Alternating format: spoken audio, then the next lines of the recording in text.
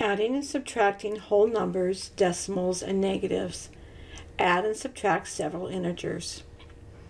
When adding and subtracting many integers, we work left to right.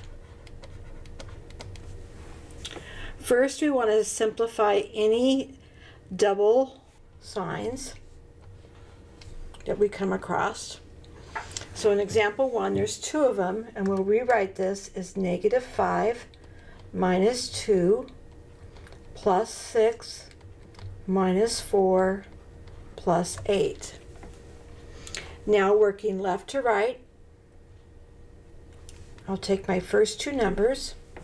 They have the same sign, so I will add and keep my sign, giving me a negative 7. And I'll just write down all my other numbers. Dealing with my next two numbers, I have negative 7 plus 6. They have different signs, so we subtract, keeping the sign of the larger number, so we get a negative 1. And again, write down the rest of the numbers. Deal with my first two numbers to the left. I have a negative and a negative, so they have the same sign. So we add and keep the sign, giving me a negative 5. And bring down my other number. So now I have negative 5 plus 8. Different signs, so I'm going to subtract, which would give me 3. My larger number is 8, which is positive giving me a positive 3 or just a 3.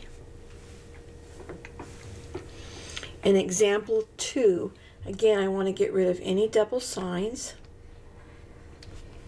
So those would be the, my double signs there. And so if I rewrite this, I'm now going to have 4 minus 8 minus 3 plus 1 plus 3 working from left to right, I look at my first two numbers.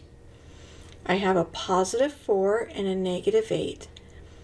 Different signs, so I subtract.